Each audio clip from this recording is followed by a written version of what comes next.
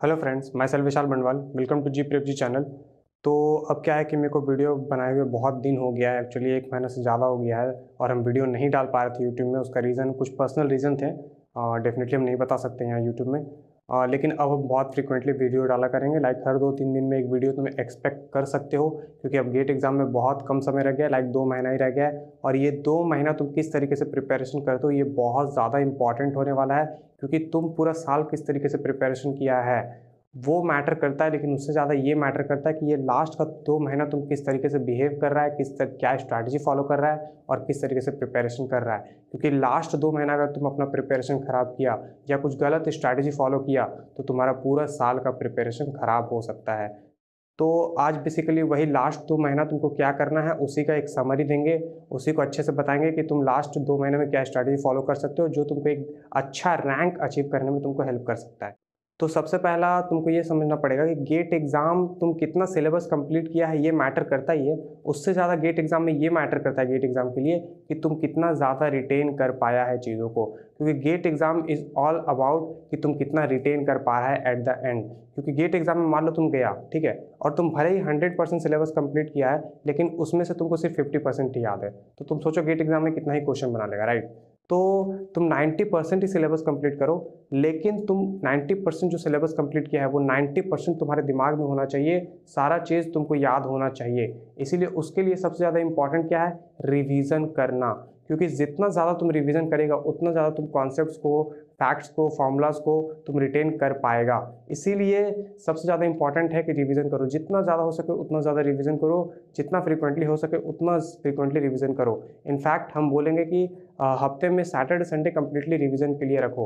अब क्या है कि हो सकता है कुछ लोगों का सिलेबस कंप्लीट हो गया टेस्ट सीरीज़ स्टार्ट कर दिया होगा। तो अगर मान लो तुम अपना जो सिलेबस वगैरह है कंप्लीट कर चुका टेस्ट सीरीज़ स्टार्ट कर दिया तो तुम आई होप कि तुम फ्रीक्वेंटली रिवीजन भी कर रहा होगा, लेकिन किसी किसी का सिलेबस कंप्लीट नहीं हुआ है तो उस केस में क्या? अगर तुम्हारा सिलेबस कंप्लीट नहीं हुआ है और तुम रिविज़न स्किप कर रहा है तो ट्रस्ट में तुम इससे बड़ा मिस्टेक कुछ भी नहीं कर सकता ये लास्ट के दो महीने में। तो अगर अभी तक तुम रिविज़न स्टार्ट नहीं किया तो हम बोलेंगे, भाई अब रिवीजन स्टार्ट कर दो, क्योंकि इससे लेट किया तो तुम्हारा गेट एग्ज़ाम हाथ से निकल जाएगा।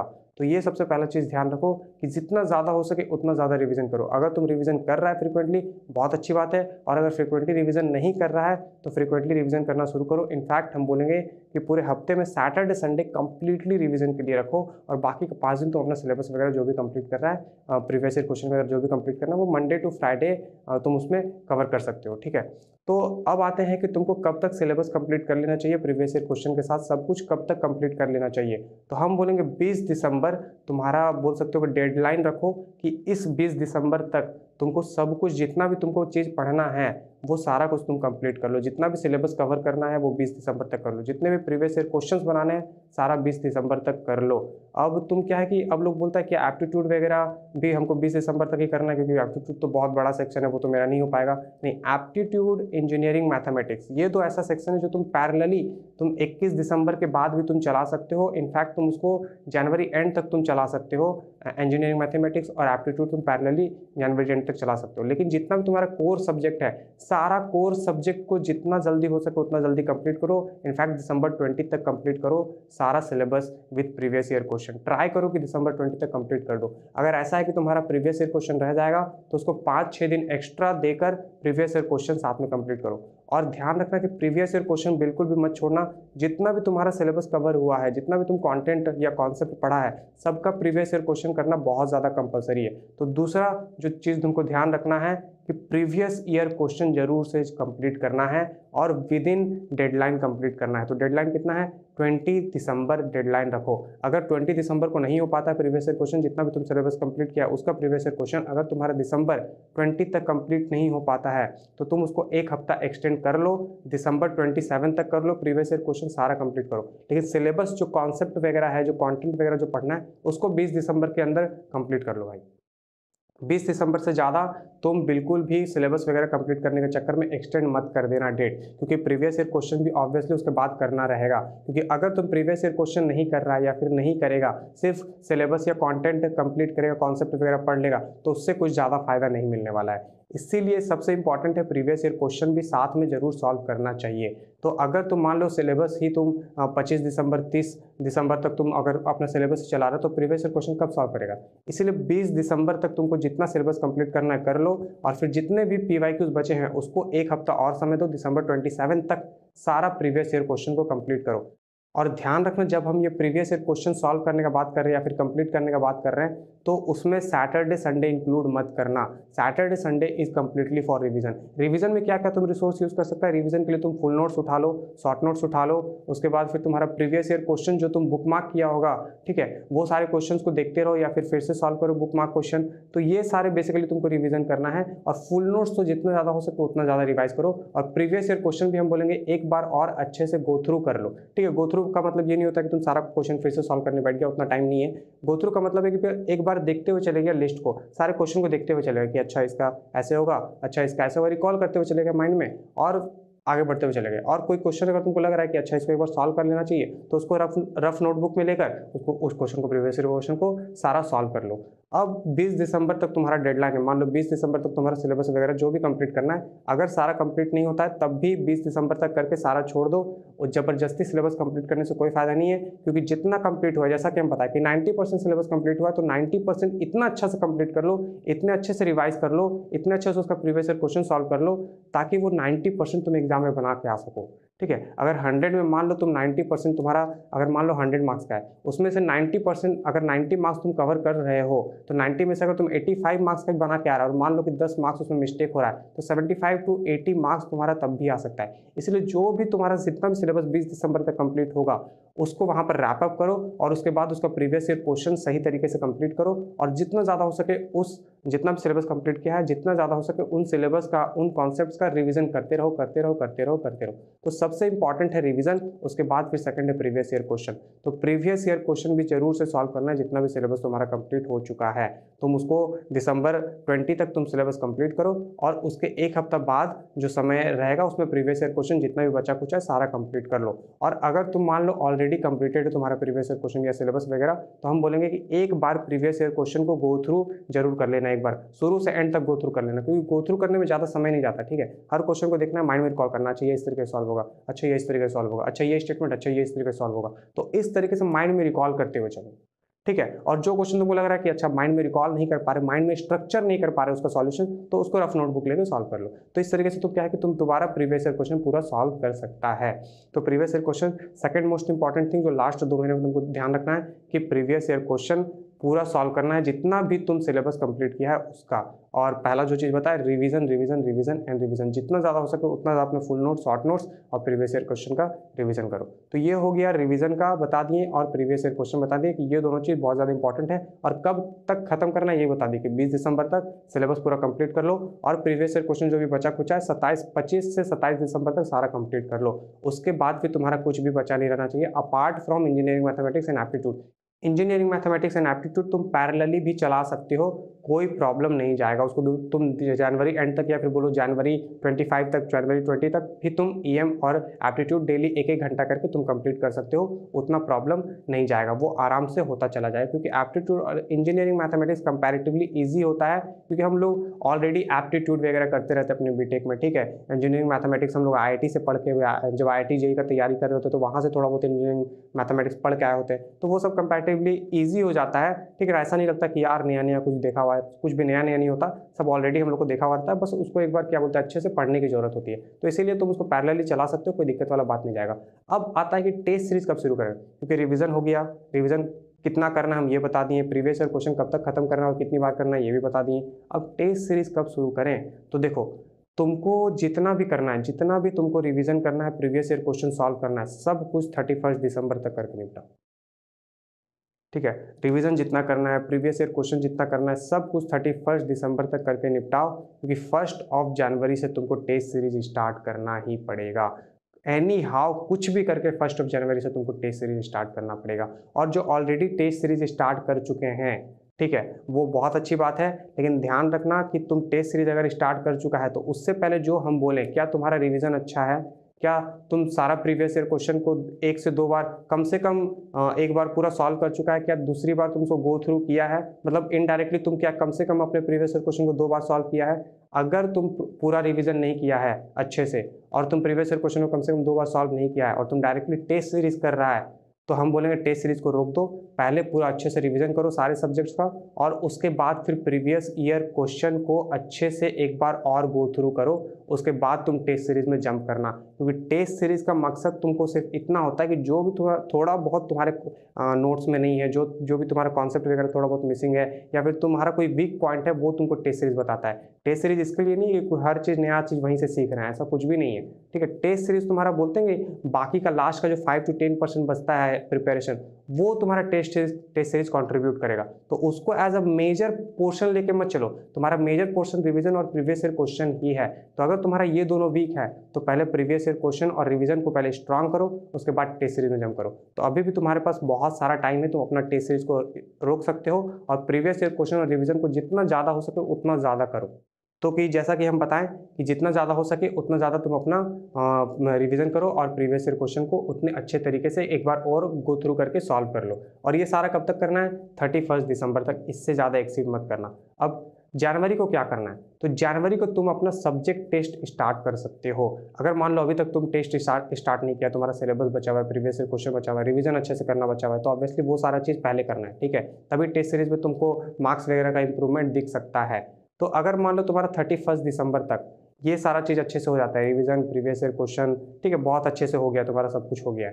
तो तुम फ़र्स्ट ऑफ़ जनवरी से सब्जेक्ट टेस्ट स्टार्ट कर सकते हो। क्या टॉपिक वाइज टेस्ट भी देना है? उतना समय नहीं है कि टॉपिक वाइज भी दे सब्जेक्ट वाइज भी दे फुल लेंथ भी दे। ऐसा बिल्कुल भी नहीं, उतना समय अपने पास नहीं है। तो तुम कोई सा दो सब आ, कोई दो टेस्ट सीरीज़ परचेज कर लो उसमें से एक कंपलसरी हम बोलेंगे मेड इजी का ज़रूर से परचेज करना। उसका स्टैंडर्ड क्वेश्चन का बहुत अच्छा रहता है गेट लेवल बोल सकते हो गेट से थोड़ा बहुत नहीं होता है उसका लेवल मैच करता है। बाकी के टेस्ट सीरीज़ मेरे को पसंद नहीं आता उतना। तो तुम मेड इजी का एक कंपलसरी ले लो और दूसरा तुम कोई सा भी अपने पसंद का टेस्ट सीरीज़ ले लो।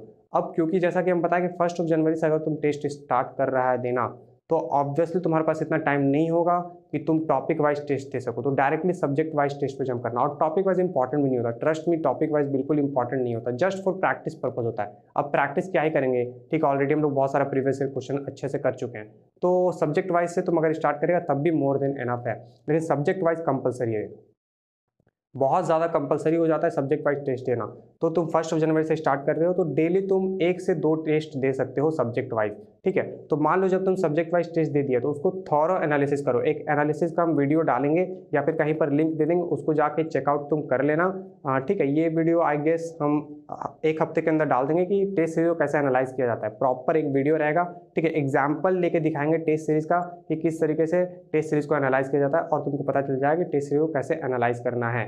तो ये वीडियो हम जैसे ही कुछ एक हफ़्ते या दस दिन में वो वीडियो हम लेके आएँगे और वो अपलोड कर देंगे यूट्यूब में तुम लोग जाके वहाँ से देख सकते हो। लेकिन अभी के लिए सुन लो कि जनवरी में जब तुम सब्जेक्ट टेस्ट देगा तो डेली एक से दो तुमको सब्जेक्ट टेस्ट देना है। तो जब सब्जेक्ट टेस्ट तुम दे दिया तो उसके बाद उसको थॉरो एनालिसिस करना, क्योंकि एनालिसिस सही तरीके से करना सबसे ज़्यादा इंपॉर्टेंट है। इनफैक्ट सबसे बोल सकते हो कि सबसे इंपॉर्टेंट टेस्ट सीरीज़ का जो पार्ट होता है, वो टेस्ट सीरीज़ देना नहीं। टेस्ट सीरीज़ को एनालाइज करना ही टेस्ट सीरीज़ का सबसे ज़्यादा इंपॉर्टेंट पार्ट है। तो जब तुम टेस्ट सीरीज़ दे लिया, उसके बाद फिर टेस्ट सीरीज़ को सही तरीके से पूरा एनालाइज करो। देखो तुम्हारा क्या वीक एरिया है, कहाँ पर तुम्हारा रिविजन वीक है। ठीक है, तुम क्या क्या सिली मिस्टेक कर रहा है, उन सारी चीज़ों को रेक्टिफाई करो, ठीक है? और हो सकता है टेस्ट सीरीज़ देते वक्त तुम कुछ भूल रहा हो कॉन्सेप्ट तो दोबारा से उन सारे कॉन्सेप्ट को अपने फुल नोट से या शॉर्ट नोट से रिवाइज करो। तो बेसिकली इस तरीके से तुम डेली एक से दो सब्जेक्ट टेस्ट तुम जनवरी फ़र्स्ट से देना शुरू कर सकता है। ध्यान रखना सैटरडे संडे तब भी कंप्लीट रिविजन के लिए रखना। इनफैक्ट अब मंडे टू फ्राइडे भी तुम्हारा रिवीजन ही हो जाए क्यों? क्योंकि तुम अब डेली टेस्ट सीरीज़ ही दे रहा है। एक्स्ट्रा कुछ नहीं कर रहा राइट तो तुम डेली सिर्फ़ टेस्ट सीरीज़ ही दे रहा है और उसके अलावा तुम्हारे पास कुछ बचा नहीं है तो ऑब्वियसली उसके अलावा तुम क्या करेगा? उसके अलावा तुम रिवीजन करेगा। जितना ज़्यादा हो सके, जो भी तुमको लग रहा है हम ये चीज़ भूल रहे थे टेस्ट देते वक्त, उसको दोबारा से अच्छे से रिवाइज कर लो। तो इस तरीके से बेसिकली तुमको जनवरी फ़र्स्ट से बिहेव करना या फिर इस तरीके से तुम अपना स्ट्रैटेजी प्लान कर सकते हो कि मंडे टू फ्राइडे तुम अपना डेली एक से दो सब्जेक्ट वाइज टेस्ट दो, उसका थोड़ा एनालिसिस करो। वहाँ पर देखो तुम्हारा क्या वीक पॉइंट पॉइंट्स उसको जाके ठीक करो।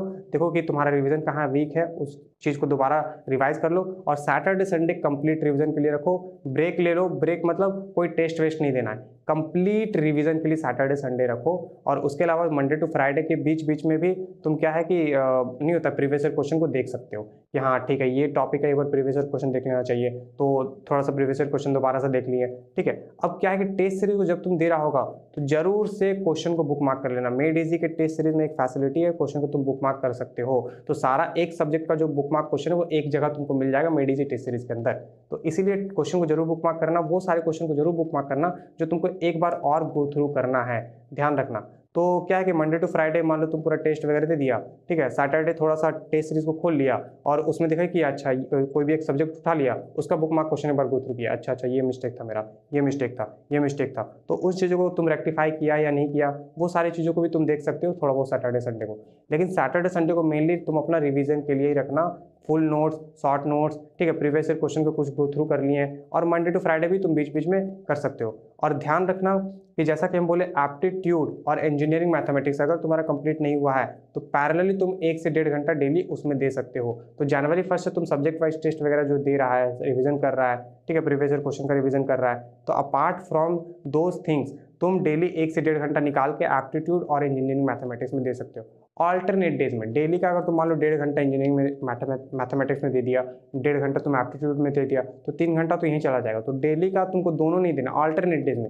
एक दिन इंजीनियरिंग मैथमेटिक्स कर लिया, एक दिन एप्टीट्यूड दूसरे दिन इंजीनियरिंग मैथमेटिक्स तीसरे दिन एप्टीट्यूड इस तरीके से ऑल्टरनेट डेज़ में करते रहो और पैरेलली करते रहो, कोई दिक्कत वाला बात नहीं है, कोई ज़्यादा इफ़ेक्ट नहीं करेगा, क्योंकि एप्टीट्यूड लॉजिकल सब्जेक्ट है और इंजीनियरिंग मैथमेटिक्स हम लोग को ऑलरेडी थोड़ा बहुत आया हुआ रहता है, जो हम लोग आई टी के लिए तैयार किए थे तब से। ठीक है? तो इसीलिए इस तरीके से तुम बेसिकली मूव ऑन कर सकते हो। तो मान लो कि हम मान के चल रहे हैं कि 12-13 जनवरी तक तुम्हारा सारा सब्जेक्ट वाइज टेस्ट खत्म हो चुका होगा और तुम प्रॉपर एनालिसिस कर चुका होगा।